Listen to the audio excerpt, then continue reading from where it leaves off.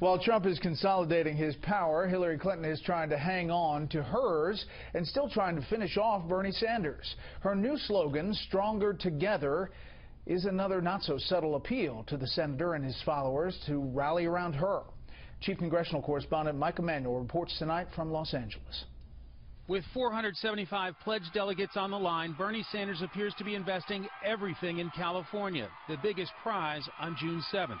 We are going to win the state of California because by the end of this campaign here, we are going to have rallies all over this state and speak personally in a grassroots way to over 200,000 people in California. Hillary Clinton is also expected to spend much of this week in the Golden State. It's not likely that she needs to win here, but clearly she doesn't want to be embarrassed. The only thing standing between Donald Trump and the Oval Office is all of us.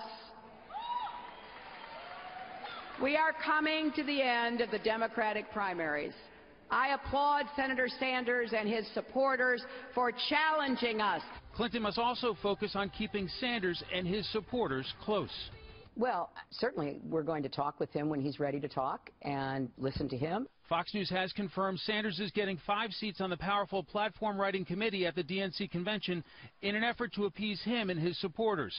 Patching things up between Sanders and DNC chairwoman Debbie Wasserman Schultz won't be easy after Sanders announced he's supporting her primary challenger, Tim Canova. Since that endorsement, the Canova campaign says it's hauled in $250,000, and Sanders isn't stopping there. If elected president, she would not be reappointed uh, to be chair of the DNC. Clinton was non-committal yesterday about participating in a Fox News debate in California, which Sanders has agreed to do. I haven't thought about it. We'll consider it. This cycle, there have only been nine Democratic debates so far.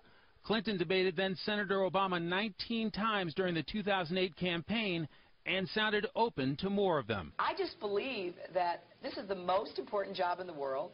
It's the toughest job in the world. You should be willing to campaign for every vote. You should be willing to debate anytime, anywhere. A short time ago, Sanders called on Clinton to keep her word in terms of participating in a televised debate here in California. Sanders says the people of the state that is number one in population are entitled to a serious debate. Brett? Mike Emanuel live in Los Angeles. Mike, thank you.